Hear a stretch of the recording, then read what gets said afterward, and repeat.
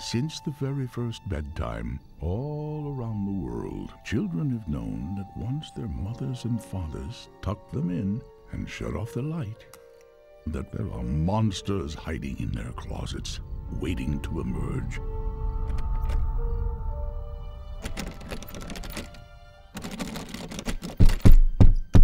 But what they don't know is, it's nothing personal.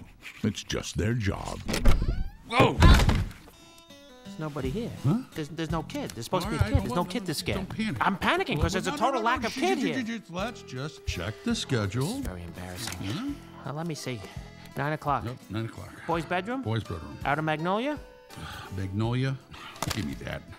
It's Mongolia. Mike, does this look like Mongolia to you? Yeah, yeah, well, yeah, kind well, of. okay. You remember the fifth grade Yeah. when you spent all your time passing notes to Susie Boyles? Loved it. The rest of us were studying geography. This is not Mongolia. Uh, would, would you listen to this? Blame it on the little guy. How original. He must have read the schedule wrong with his one eye. All right, come on. Uh, don't take it personal. were Come on, that. Don't You were be thinking so that. sensitive. Uh, come on, buddy. Little Blinky. Don't, Who's don't your do buddy? that. Who's your I'm buddy? resisting you. Come on. Don't make me Come like you. Don't, I don't want to like Come you now. come on. All right. hey, guess which planet I am? Huh? Come on, look. guess which planet I am. Okay, I'm gonna go back to the break room before all the donuts are done. Hey, th- don't you even get it? You big throw rug? Oh, nice doggy.